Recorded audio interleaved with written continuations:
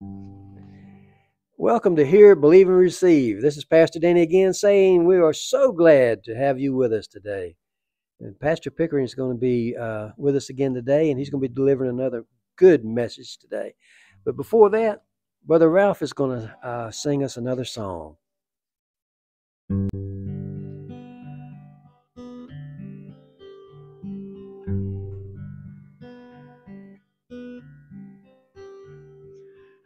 Tis so sweet to trust in Jesus, just to take him at his word,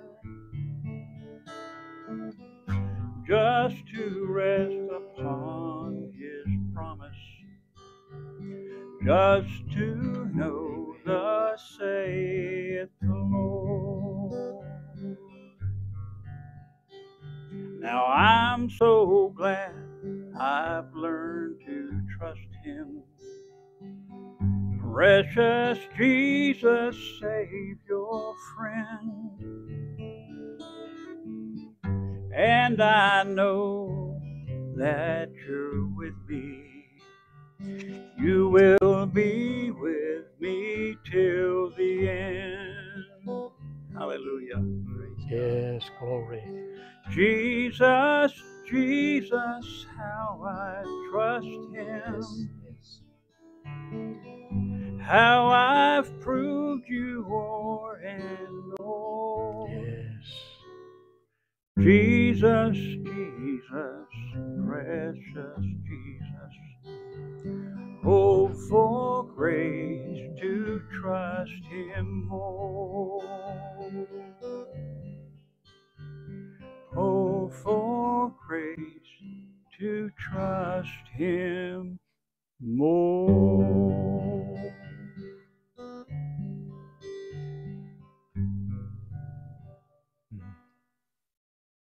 Thank you, Brother Ralph. Praise God. Trust, Yes, trust. Jesus. Yes. Trust Him more and more. The more and more you do it, the more and more better it gets. Praise God. Brother Pickering, can't wait to hear your message today. Amen. Well, thank you, Pastor Danny. Uh, uh, this is Roger Pickering again, and I want to continue sharing what we started in the previous podcast. We were talking about the incredible love that God has for people. It's just mind boggling when we think of the great and wonderful love that God has for you and me. We began last time talking about a poem that was written in 1859 by Anna Warner. Then, three years later, a gospel songwriter named William Bradbury saw the poem and put music to it. And he also added a chorus. It didn't take long until the song went worldwide and became a favorite, especially of children. We're talking about the song called Jesus Loves Me. This I know. And it goes on, for the Bible tells me so. Little ones to him belong. They are weak, but he is strong. The chorus that was added is Yes, Jesus loves me. Yes, Jesus loves me. Yes, Jesus loves me. The Bible tells me so. Why are we talking about what many call a children's song? Because it's so simplistic in telling us and showing us the love that God has for people. Amen. God loves you. Amen. There are so many people in the world today who can't believe that the great God on high, the creator of everything, could love them. They just feel so unworthy. They feel like a worm crawling on dirt, and that God doesn't want anything to do with them. But God loves each and every one so much that He sent His Son Jesus to earth to die for your sin and mine. The truth is, there are even many, so many Christians today. Yes, even those who go to church every week who believe they are so unworthy before God.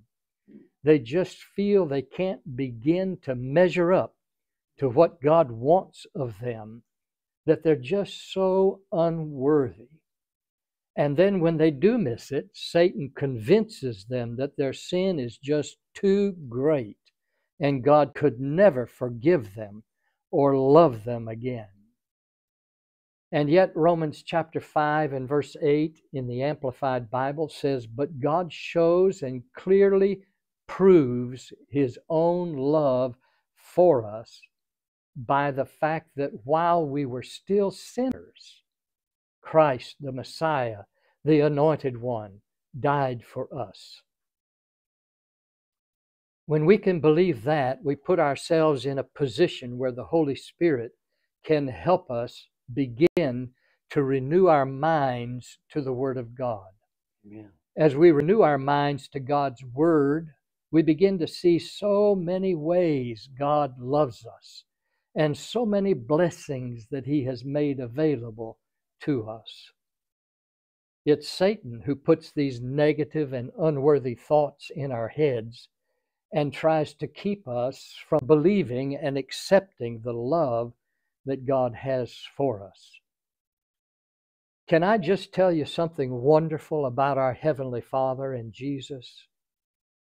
Jesus loves us, this I know, Amen. for the Bible tells me so. In our previous podcast, we read Romans chapter 8, verses 38 and 39, which says, Nothing will be able to separate us from the love of God which is in Christ Jesus our Lord. Nothing. Now believe that. Just believe that. In John 13 and verse 34, Jesus even tells us that He's giving us a new commandment. He says that you love one another as I have loved you, that you also love one another. In John 15 and verse 9, Jesus says, As the Father hath loved me, so have I loved you. Continue you in my love. Well, it sounds like the Lord wants us to remember how much He loves us. And as we remember how much He loves us, we're to also remember that He wants us to begin to love others like Amen. He loves us. Amen. Then in verse 12, Jesus again says, This is my commandment, that you love one another as I have loved you. Hallelujah. Jesus loves me. This I mm-hmm. know, for the Bible tells me so. Amen. In 1 John chapter 3 and verse 1 it says, "Behold what manner of love the Father hath bestowed upon us that we should be called the sons of God." The voice translation says this, "Consider the kind of extravagant love the Father has lavished on us. He calls us children of God. It's true, we are his beloved children." Then verse 16 says, Hereby perceive we the love of God. We perceive the love of God because he laid down his life for us, and we ought to lay down our lives for the brethren. Amen. Love was expressed through Jesus willingly dying for you and me. That's the greatest and highest form of love a person could show. Here's a story I came across several times actually in my research for this podcast and this message. This- is actually a message the Lord gave me a few years ago. And it's one that I couldn't file away and forget about. But here's the story that I saw. Air Force Colonel John Mansour, a Vietnam veteran, tells about an eight year old orphan who was wounded by a mortar and needed a blood transfusion. No American had her blood type, but several of the other orphans did. In Pidgin Vietnamese language, which is part French, the doctor, with the help of a nurse who knew a little French, tried to explain to the frightened children that unless they could replace some of the girl's lost blood, she would die. He asked who would be willing to give blood. The children looked in wide eyed silence. After several moments, a hand was raised, wavered, then dropped, and then it went back up. Oh, thank you, the nurse said. What is your name? Heng. Heng's arm was quickly swabbed, and a needle was inserted, inserted in his vein. At first, he lay still and intent, silent and intent. Then he began sobbing. He covered his face in shame with a fist in his mouth. His sobs turned to silent crying. A Vietnamese nurse arrived on the scene. Seeing Heng's distress, she spoke rapidly in Vietnamese. She listened and answered in a soothing voice. He stopped crying and looked questioningly at her. When she nodded, relief spread over his face. She then said to the Americans, he misunderstood. He thought he was dying. He thought you asked him to give all his blood so she could live. After thoughtful silence, the American nurse asked, Why would he be willing to do that? The translator asked him, and he answered simply, She's my friend. Mm-hmm. Amen. Now that grabs your heart. Amen. Sounds like Jesus, doesn't it? Paul wrote in Romans chapter 5, verses 6 through 8, and I share this from the, the Living Bible. When we were utterly helpless with no way of escape, Christ came at just the right time and died for us sinners who had no use for him. Even if we were good, we really wouldn't expect anyone to die for us, though, of course, that might be barely possible. But God showed his great love for us by sending Christ to die for us while we were still sinners. I know that Jesus loves me because the Bible tells me so. Paul, in his prayer in Ephesians chapter 3, verses 18 and 19, he prays that we might really get hold of how much God loves us, you and me. He says in the Living Bible, May you be able to feel and understand as all God's children should how long, how wide, how deep, and how high His love really is and to experience this love for yourselves, though it is so great that you will never see the end of it or fully know or understand it. And so at last you will be filled up with God Himself. Amen. Amen.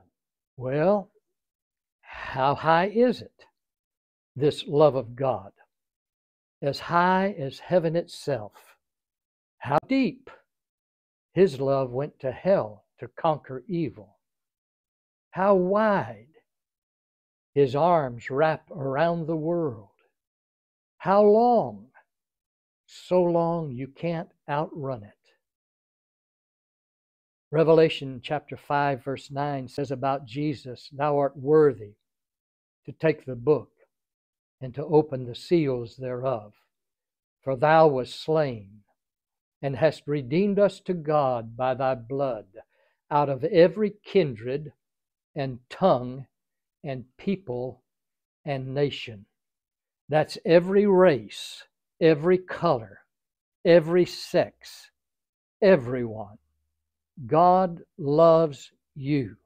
Say it. God loves me, even me.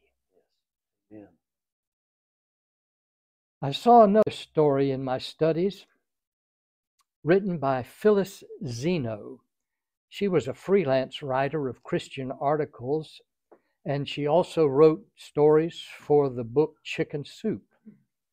This article is said to be a true story about an encounter that Phyllis Zeno had and then wrote about. One day, a beautiful but very troubled little girl came through the door of my day nursery. From the very beginning, I became captivated by this child who had so little but needed so much. I was heartbroken that a four year old could suffer such heartache and pain. She was born in prison after her mom had used marijuana, crack, and cocaine her entire pregnancy. The little girl was nonverbal and had very little control. I knew her progress would be a mighty battle. Whenever somebody approached her, she became violent for long periods and ended up in a fetal position on the floor crying out. I found myself praying for her day in and day out. As months rolled on, I began to bond with this child that no one wanted. She and I worked very hard, taking one step forward and four steps back. Daily, we sat in the big rocking chair in my office, swaying back and forth and back and forth. During our rocking time, I sang, Jesus Loves Me. She always settled down and became very still at the melody. Though she never spoke, peace seemed to fill her face as she listened to the song. One day, after a very long battle, I held my special girl to again calm her fears and pain. In silence, we rocked back and forth and back and forth and back and forth. Then she looked at me with tear filled eyes and spoke for the first time, saying, Sing to me about that man who loves me.